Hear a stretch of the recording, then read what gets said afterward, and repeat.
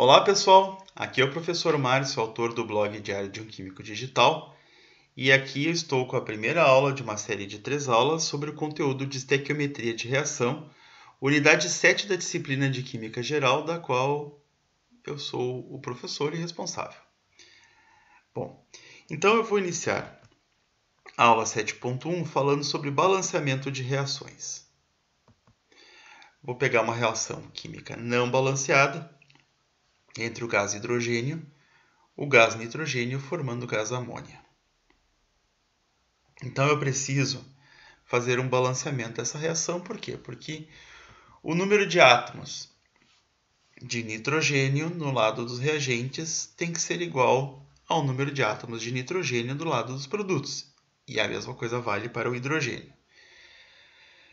Contabilizando, temos 2 mols de nitrogênio e 2 mols de hidrogênio no lado dos reagentes. No lado dos produtos temos apenas 1 mol de nitrogênio, não está escrito aqui, mas existe implicitamente um átomo né, na fórmula mínima. Então temos 1 de nitrogênio para 3 de hidrogênio. E devemos fazer com que esses números se equilibrem.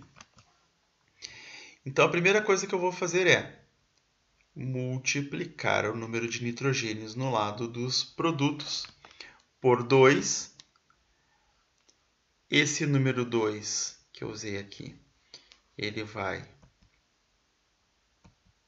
como coeficiente estequiométrico e ele possui um efeito sobre o número de átomos agora. Por quê? Ele vai multiplicar tanto o número de nitrogênios quanto o número de hidrogênios. Então, 2 vezes 1 2. Então, temos agora equilíbrio no número de nitrogênios no lado dos reagentes e do lado dos produtos, entre o lado dos reagentes e o lado dos produtos. Mas o 2 vezes o número de hidrogênios, que é 3, 2 vezes 3, é 6. Resolvemos, balanceamos o número de nitrogênios dos dois lados da equação. Só que agora eu preciso multiplicar este número 2 de hidrogênios por um número tal que o resultado seja 6. Ora, sabemos que o número é 3. 6 dividido por 2, 3.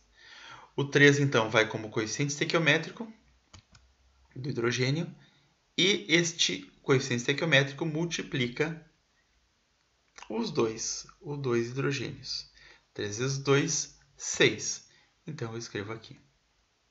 Essa reação agora está balanceada. Temos o mesmo número de nitrogênios no lado dos reagentes e no lado dos produtos e o mesmo número de hidrogênios nos dois lados da reação.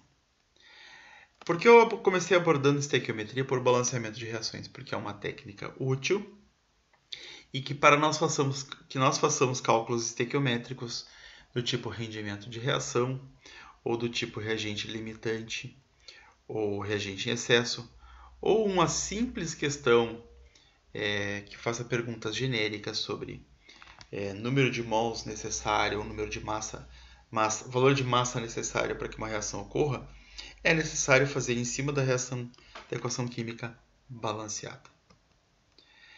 Se vocês quiserem alguns detalhes a mais sobre o balanceamento de equações químicas, neste link do YouTube existe um material que fala sobre isso. Ele não foi originalmente feito para ser sobre balanceamento de equações químicas, embora o conteúdo e a aula que eu ministre nesse, nesse vídeo seja exatamente isso. Ele foi para ensinar a usar o software no qual eu estou trabalhando para criar essa videoaula, que é o OpenSancoré. Eu agradeço a atenção de todos e encerro esta primeira videoaula. Até a próxima!